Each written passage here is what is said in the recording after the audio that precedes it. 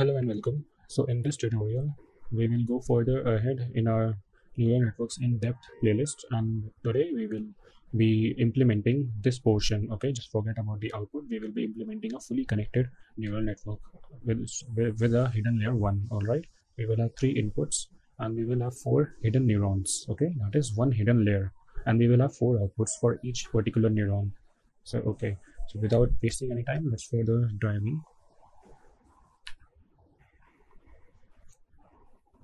so in the previous example we had this code okay? This was one this this was for one neuron the output for one neuron okay? Now we have multiple neurons right? We have four neurons one two three and four. The same number of outputs the inputs sorry three.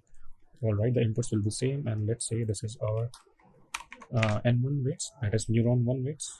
Similarly i'll copy this okay? So we have four neurons like this so let's say I'll just change some random values here.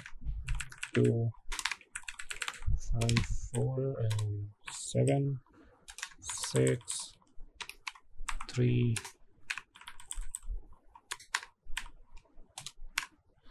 cool.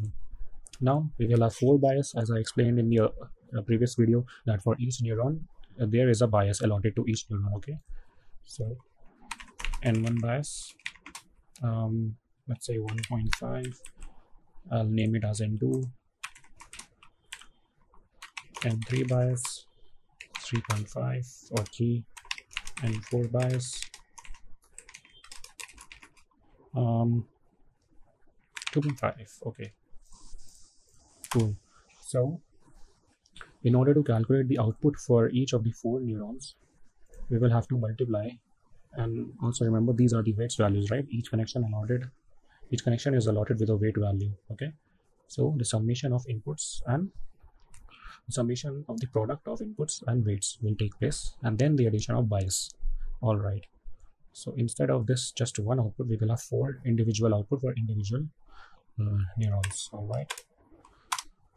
So the first output will be inputs of 0 into n1 weights of 0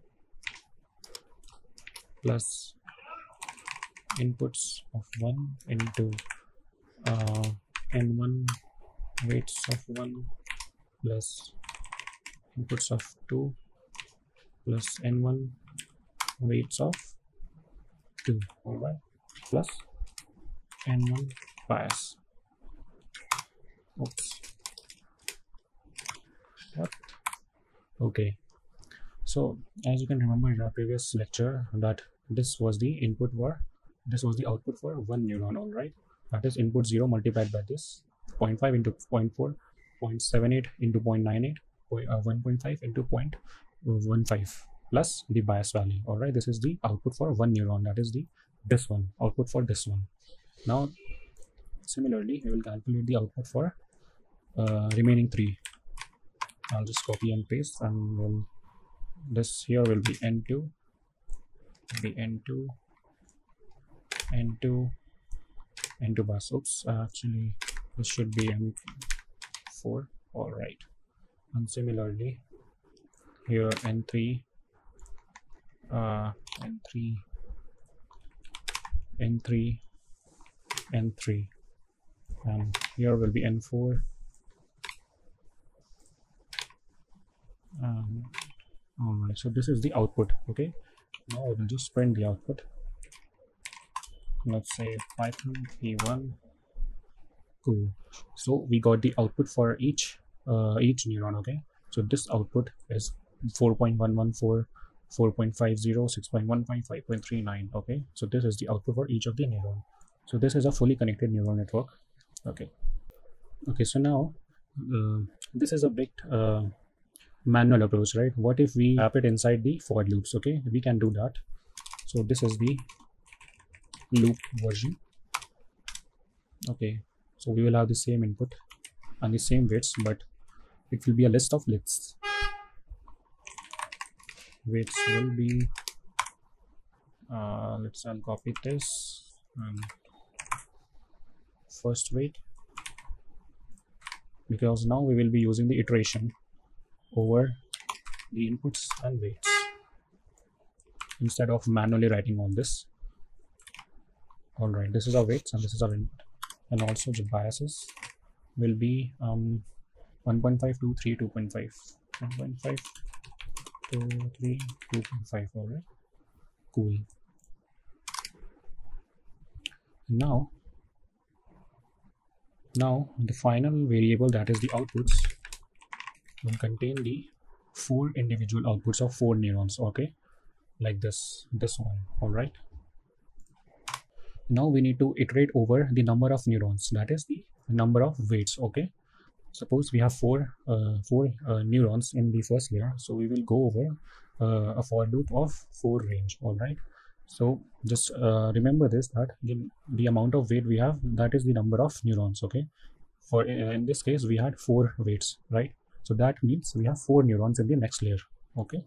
So we will say for uh, in in range uh, length of weights six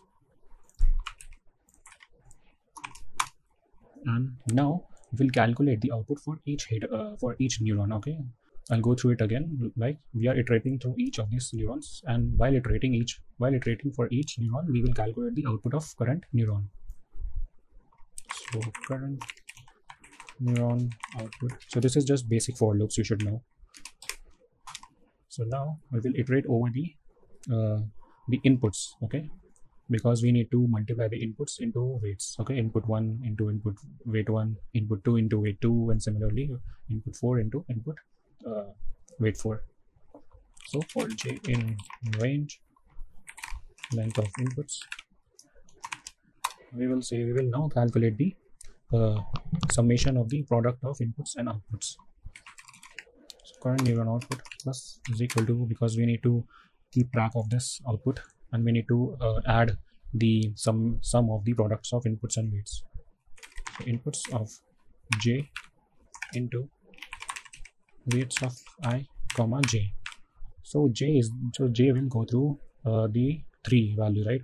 0 1 and 2 because we have three values either here all right? So that is why i have taken j over here now the final step is to add the bias because remember we we calculate the uh, z value z value which is summation of inputs and weights. And then we uh, add the bias value okay? Not while calculating this.